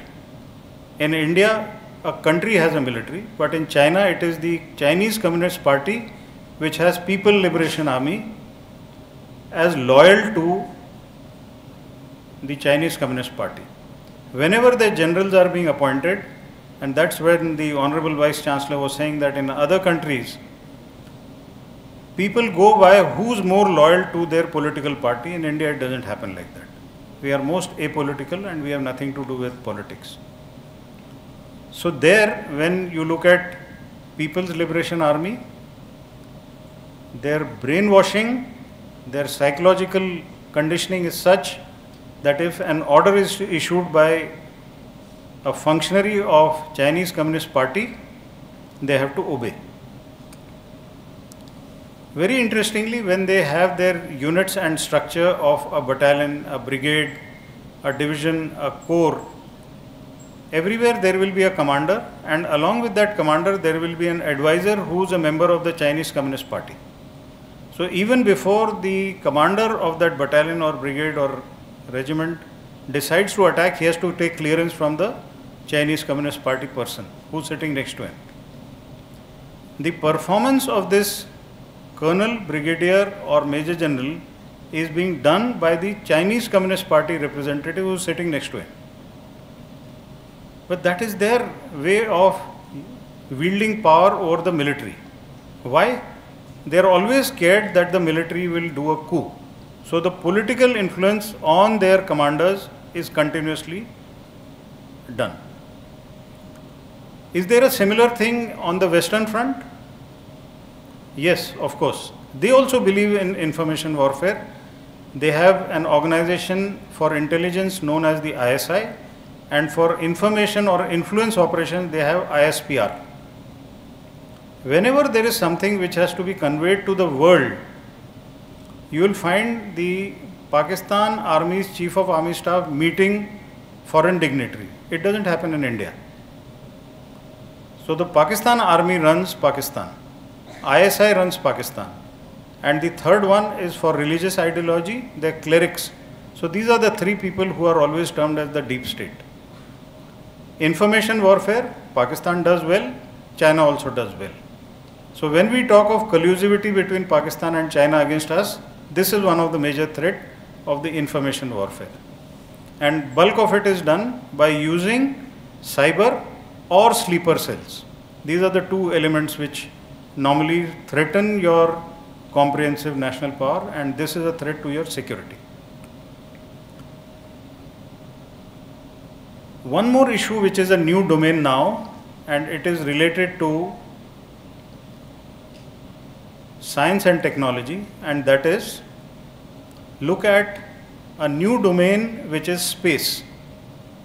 We all are extremely happy that Chandrayaan 3 went to moon, southern part, landed extremely good. We are all happy that in the year of 2019, 18, 19, we did an ASAT test in which we were able to kinetically drop a satellite. That's happiness, very good. But space asset security is also to be done physically as well as against cyber attacks. So we need to develop this capability. ISRO is doing extremely well, going on to strategic projects. But somewhere in 2018, the government created a new agency called the Defense Space Agency. That is now looking at the security of our assets in space. It is looking at security of our data which gets downloaded or commands which get uploaded or the ground stations which are looking after space assets. We are looking at space assets being multiplied. In the Russia-Ukraine war, you would have seen in the initial part itself, Russians had knocked off a large number of Ukraine space assets, but it is because of the West that many such satellites were provided through private companies to Ukraine. Similar thing will happen if we have a problem with China, our space assets would be vulnerable. So we have now diversified and bifurcated strategic assets, strategic protection, security to our assets will be done by Defense Space Agency and rest of the commercial aspects, exploratory aspects will be done by ISRO.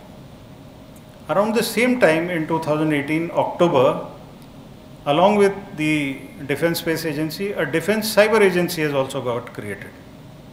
Defense Cyber Agency is also meant to work along with other elements for protection of our critical assets, critical infrastructure, whether it is finance, whether it is energy, whether it is railways, whether it is uh, foreign offices.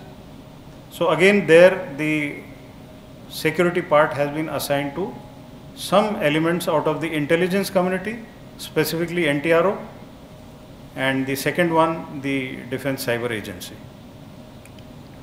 In cyber, there will be some people who will be extremely good hackers who will take the positive role of going across and attacking our adversaries. But the bulk of the problem is the defense, cyber defense. Each one of us is using an electronic device. Each one of us is using that device based on internet.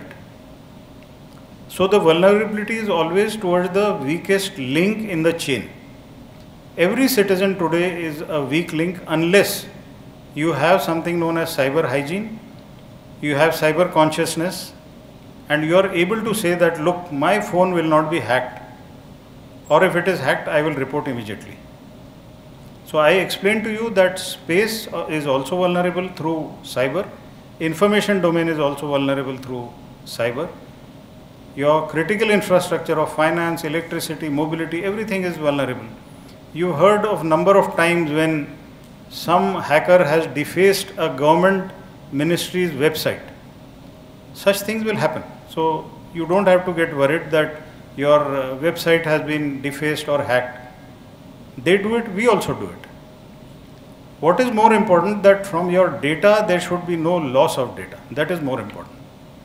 And uh, recently when uh, you saw the parliament passing a data protection bill, that is one more step towards protecting your data, protecting your national security. If your data from atomic energy plants leaks or from reserve bank it leaks, you have a lot of problems. Why doesn't it leak out of the military? We have our own independent networks. We have our own independent system. If we are connected somewhere to internet, we do not put military information onto that device. So there is an air gap between what is a military network and what is a civil network. Let me also tell you very briefly how do we ensure the comprehensive national security to elements of comprehensive national power. The PMO has understood a very clear requirement of two apex level bodies one to propel our national growth so there is niti aayog which is responsible to the pmo only and the second one for security is the national security council secretariat nscs let me talk about the nscs the nsa Shri Ajit Doval Kirti Chakra, he is the NSA. He heads it, and under him in NSCS, there are four apex level officers, three deputy NSAs, and one military advisor. I was the military advisor for three years, so I am telling you with authority how it happens. There is a deputy NSA who looks after strategic affairs, and it will always be a foreign service officer. So, Mr. Pankaj Saran, who was an ambassador earlier in Russia and then in Bangladesh, headed that vertical for nearly about three and a half years. Then he was re relieved by Mr. Vikram Misri, who's been an ambassador in China and Myanmar. The second deputy NSA is for internal affairs. The first deputy NSA for internal affairs was Honorable Governor of Tamil Nadu, Mr. Anand Ravi and then he moved out as governor to Nagaland and then moved to Tamil Nadu and he was relieved by an ex-intelligence bureau officer Mr. Datta Padsalgikar who after his three years has gone and now presently he is in Maharashtra and he's been recently appointed to investigate of what wrong has happened in Manipur. The third deputy NSA is Mr. Rajinder Khanna. He's been there for nearly five years now and he heads what is known as technology and intelligence. So between him and the military advisor, future technologies worked out, future technologies for civil and future military technologies. And the fourth one is the military advisor. The first military advisor was Lieutenant General Prakash Menon, who is now in Takshashila Institute. That's a think tank in Bangalore. I followed him after a gap of about two years and then I was relieved by Lieutenant General Anil Chauhan, who is the current CDS, and he has been relieved by Air Marshal Sandeep Singh, who retired as the Vice Chief of Air Staff. So at this level, you can make out that uh, very carefully people are selected and given tasks. There have been two more additions thereafter, identifying the requirement of uh, security so in maritime domain, we have the National Maritime Security Coordinator, Vice Admiral Ashok, who was the Vice Chief of Navy earlier. He's been there for nearly two years now. And we have the National Cyber Security Coordinator. Earlier it was Mr. Gulshan Rai. then followed by Lieutenant General Pant, and Lieutenant General Pant has just retired from there, and Lieutenant General M.U. Nair is now the National Cyber Security Coordinator. What does the NSCS do? NSCS does a lot of research work, a lot of analysis, comes up with assessments and recommendations and gives it to the NSA. What does the NSA do with that? The NSA uses this information and briefs five top decision makers who are a part of the Cabinet Committee on Security. The Cabinet Committee on Security is headed by the Prime Minister. There are four more important ministers the Finance Minister, the Home Minister, the External Minister, and the Defense Minister. These are the five people who are responsible for Cabinet Committee on Security. They are briefed by the NSA not in the CCS but in the National Security Council. The NSA is not an elected member, so he does not form a part of the CCS. He does his briefing to these five people in the NSC and then he withdraws, and this forum becomes the CCS where decisions are taken by the elected members of the people.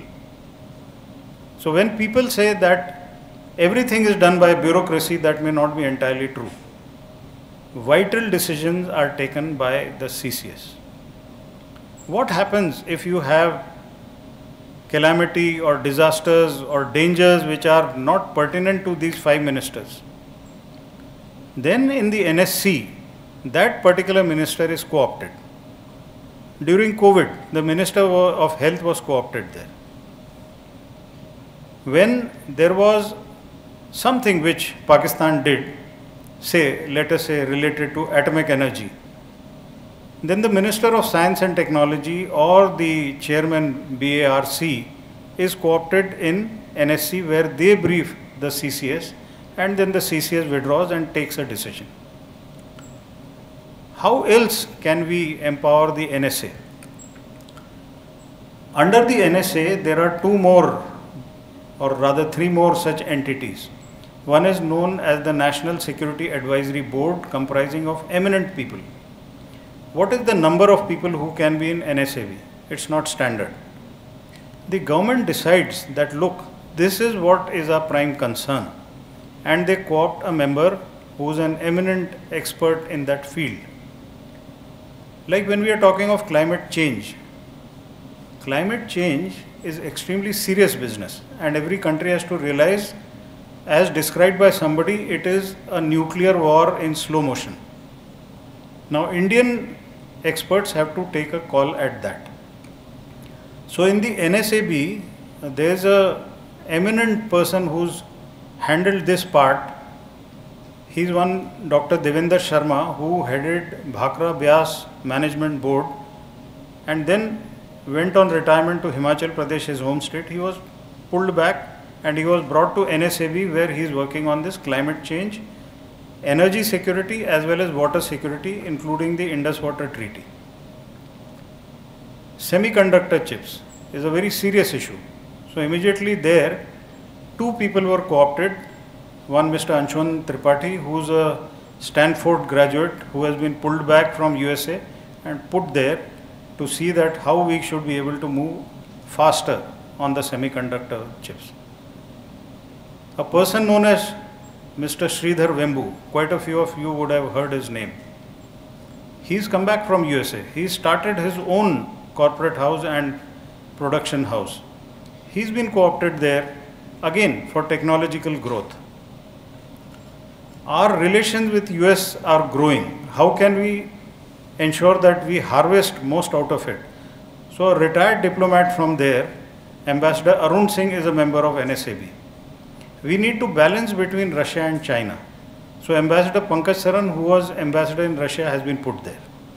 We need information as much as possible about China. Military information, Lieutenant General Narasimhan, who's an expert in on China military affairs has been there for three years. Now he's moved out. Now we need more information about their technology intelligence. So Mr. Jaydev Ranade, who was in R&AW, has been put there. What am I trying to tell you? That NSAB is a group of people who are absolute experts.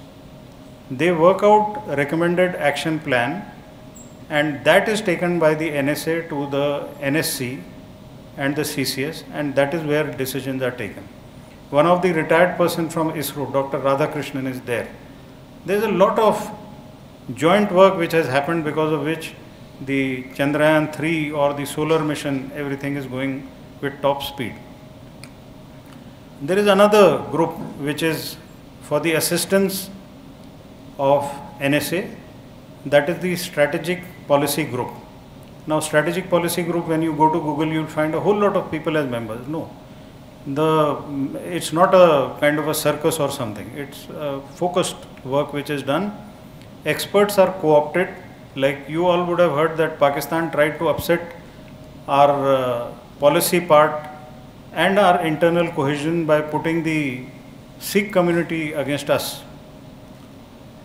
So they started the initiative for Kartarpur. Kartarpur is a holy shrine of Sikhs which is in Pakistan. And they offered immediately. That is when Imran Khan had just come to power. And they said, okay, Sikhs from India and all over the world can visit Kartarpur. Now that was something which was very difficult for uh, the foreign minister to understand. So in the strategic policy group, the DG police from Punjab, the army chief, the DG BSF, and people from NSCS, we sat down and we worked out what needs to be done. When Uri happened, when Uri happened, how did we go in for the surgical strikes? This is the kind of closed door discussion which happens, which is not given out to the media unless we have some gains to take from there.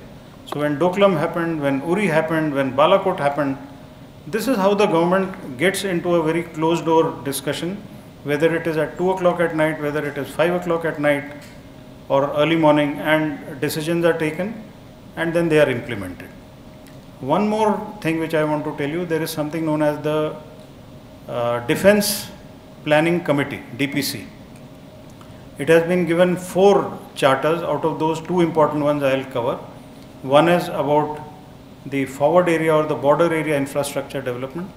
We have been lagging there. So in the last about four to five years, we have done very well there because that planning committee gets the defense secretary, the home secretary, the foreign secretary, the expenditure secretary from finance ministry and uh, the three service chiefs, the intelligence people and there it is discussed that how much of money is required for creating forward area infrastructure. And there itself in that closed door, the finance or the expenditure secretary is told, look, we want this. And at the end of the meeting, the NSA takes that paper, goes to the defense minister and says, these are the decisions we have taken. He goes to the prime minister, informs him that these are the decisions we have taken. And the implementation starts the moment CCS approves it. So this is how the national security is being safeguarded. One of the most important part which we have been lacking so far is our, we are dependent for military equipment on Russia. We are dependent on military solutions on America or Israel. So that is when the government started this Atmanirbharta mission. We must become independent technologically and production wise. And the moment we become, no one is going to then hold us to ransom. There was a particular conflict when we needed tanks. Nobody was willing to give us tanks. They were willing to give us tanks after one year. They were willing to give us tanks only by paying five times the amount the prices. This is not the way we should be functioning. So that is where the Atmanirbharta mission has started and Atmanirbharta mission is not only restricted to defense, it is in every ministry. COVID, we realized what pharma industry was to us. So we started there. We started in practically every ministry, Atmanirbharta mission. And that is where the youth have joined in as innovators, as designers. The government has started many missions, whether in the Ministry of Small and Medium Enterprise, MSME, in the Ministry of Defense, what is known as the IDEX challenges. So everyone is encouraging people to give ideas. We are still in that evolution stage, but sooner or later we will stabilize there. So this is in general how we want to protect our comprehensive national power by creating structures, creating favorable processes, creating an ecosystem and joining various silos. Our ministries function independently. So that is where for growth, Niti Aayog joins them. For security, NSCS joins them. And every month and every quarter, NSCS and Niti Aayog sit together and plan together. That is on a regular basis, but if required, even in the middle of the night, they sit together and they work together. So, that in a nutshell, I have been able to explain. And like the Honorable Vice Chancellor said, please shoot uncomfortable questions, I'll answer. Thank you, sir. The last 20 minutes that he spoke about, the national India's national security architecture and the way decision is made, perhaps you will not find it in the public domain. He's been kind enough to allow us to um, record it and then use it as well. Thank you, Dr. Nandakishore. So, um, I would like to start by saying that uh, I see a lot of familiar faces here in this auditorium and uh, with whom I have a very good connection, but at the same time, I also see a lot of new faces. And uh, today was actually, sir, supposed to be our orientation program for new students who have enrolled in the Department of Politics and International Studies. So, um, you know, I believe that um, for you, there perhaps couldn't have been a better way of having uh, an orientation session or starting the new semester because from day one we are making sure that we are steering you towards a path of contemplation and research. So I take Dr. Nanda's um, um, approval and uh, along with vote of thanks, I also want to welcome all the new students with a round of applause for all of them here. So, um, so I think it wouldn't be wrong to say that uh, we had an incredible morning filled with profound insight and wisdom. And we had the distinct privilege of uh, listening to our distinguished guest, Lieutenant General Vinod G. Khandare. And on behalf of all of us present here today, I stand before you to express our heartfelt grati- gratitude and a warm and resounding vote of thanks, sir. Your lecture has been enlightening, and your extensive knowledge, eloquence, and depth of experience has left an indelible mark on our hearts and minds. Your words have not only educated us, but also inspired us to reflect deeply on the matters of national security and defense. Your decades of dedicated service to our nation and your unwavering commitment to upholding its integrity and security serves as a beacon of inspiration for all of us. Your insights into the concept of comprehensive national power and various elements that contribute to the nation's power and influence, including military capabilities, economic strength, technological advancement, diplomatic influence, has provided us with a rare glimpse into the world of military leadership and security of India. So, uh, th- this was definitely an excellent lecture, and it, I would say it was like a crash course on national security and national power. And uh, you know, it was a crash course because, like he used the three terms, it was um, you know a whole package of information, knowledge, and wisdom. And then his lecture was very beautifully analytically evaluated and summarized by Dr. Nandakishore. I would just want to add one philosophical insight because, like most of you here know, that um, I read Sri Aurobindo a lot. So, uh, just you know, in the spirit of interdisciplinary learning and approach, I would like to add a philosophical aspect to it where I quote Sri Aurobindo and where he said, and which is very relevant today um, you know, where he said that uh, all problems of existence are essentially problems of harmony. Now, nine words, one statement, but you can, but it kind of encompasses everything. You can apply it to the social life, you can apply it to political life, you can apply it to economic life, to foreign relations, to diplomacy, conflict resolution this one statement where he says that all problems of human existence are essentially problems of harmony, not even on this wide scale, but even in your personal lives. You know, when you have a um, kind of tiff with your brother or your sister or your parents, this idea of harmony or the lack of harmony is at the root of all uh, conflicts. So that was uh, my reflection on that. I would also like to thank our respected Vice Chancellor, Professor Gurmeet Singh Ji, for joining us this morning. His tenure as a Vice Chancellor has been marked by various uh, visionary approaches, his steadfast commitment and an unyielding dedication to the pursuit of academic excellence. His support for faculty, staff and students alike has been a cornerstone of our university's success. I now take the opportunity to extend gratitude to Professor Subramaniam Raju, Dean International Relations, for delivering the welcome remarks. And as we all know, venue is a crucial component in the successful of this distinguished lecture. And so I wholeheartedly thank Professor Raju for his kind and generous gesture. I would also like to thank Dr. Nand Kishore for organizing this seminar and I also extend my heartfelt congratulations to him on the occasion of his book launch. As your colleague, I've had the privilege of witnessing your diligence, your passion for research, and your contribution to our academic community that has been invaluable. And your book launch today is a testament to your continued dedication to advancing knowledge in our field. I would also like to thank all deans, head of departments and faculty members for your kind presence. A special thanks to Dr. Radhika, head of EMRC for recording and photography arrangements.